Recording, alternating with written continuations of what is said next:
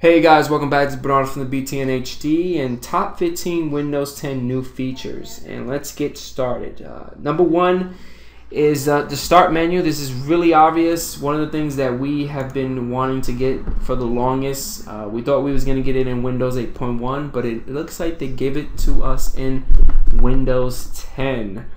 Number two is you're able to pin stuff to the start menu uh, not really something that I like a lot, but it is there as a feature. You are able to resize the tiles to small, medium, or large, depending on which application you pin to the start menu. But for me, I rather just have it uh, cleaned because it looks an, it looks like an actual start menu.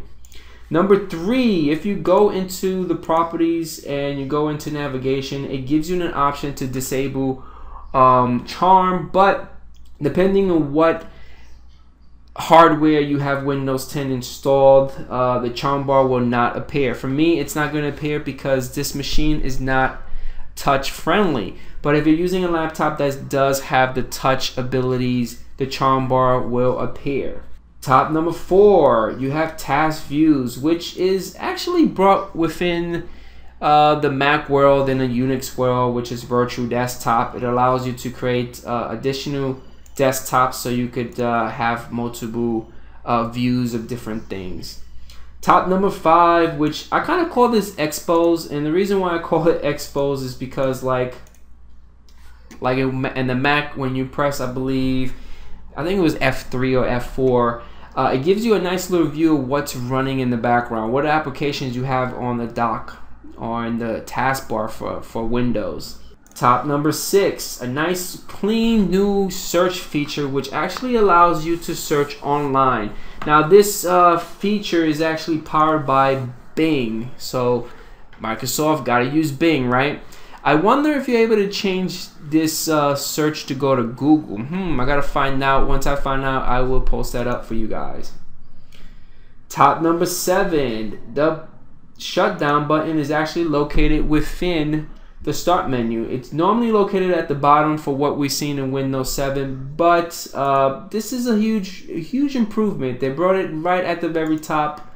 Hey, uh, eh, I can't complain about it, but still, uh, you are able to right click on the start menu and get this uh, shutdown and sign out feature just like uh, within Windows 8 and 8.1. Number eight, uh, Windows Snap feature has been enhanced. Uh, if you have a an actual um, app, if you snap it to the side, it actually gives you a view of the other things that are running, which is pretty interesting. So I'm pretty excited about that with the new snapping feature. Number nine, if you right click onto the start menu and you go to command prompt, now within command prompt, it allows you to actually uh, copy stuff and do the command of control V to paste. So that's pretty awesome. Top number 10, if you right click into the taskbar and go to properties and go into navigation, you're able to replace the command prompt with Windows PowerShell. So if you are a Windows PowerShell person, you can change that command prompt to Windows PowerShell. And number 11, the start screen is gone. Well, it's not really gone uh, but you are able to bring it back if you go inside properties.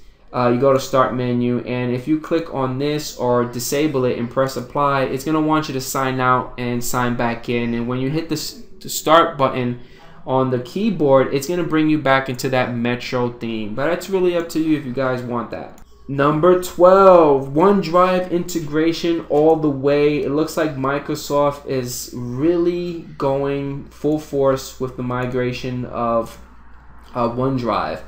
Uh, OneDrive is automatically going to upload camera, documents, everything up to the cloud. So that's pretty awesome, especially if you guys are running Office 365.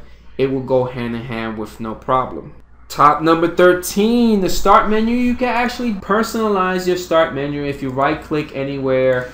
Uh, if you right click, you will go to personalize and you're able to change the color of the start menu. Ooh, I don't know.